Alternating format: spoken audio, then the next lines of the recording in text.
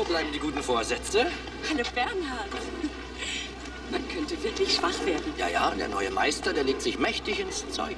Es wurde auch langsam Zeit. In so ein Geschäft gehört eben ein Mann. Nicht nur ins Geschäft. Oh, oh, oh. Guten Tag, Frau Gruner. Guten Tag, Herr Blumenau. Tag. Ja. Tag. Herr Blumenau.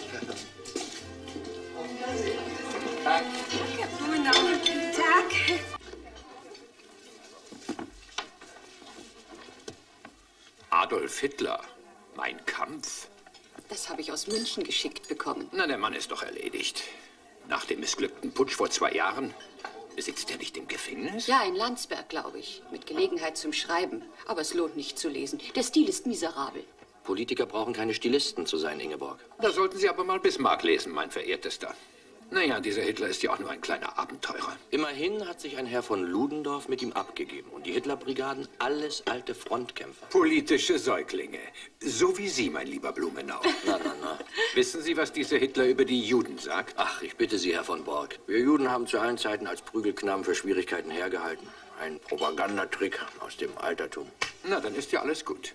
Hallo, Fritzenstein. Hoppegarten lässt grüßen. Tag, Herr Fritz. Danke, Herrschaften. Tag.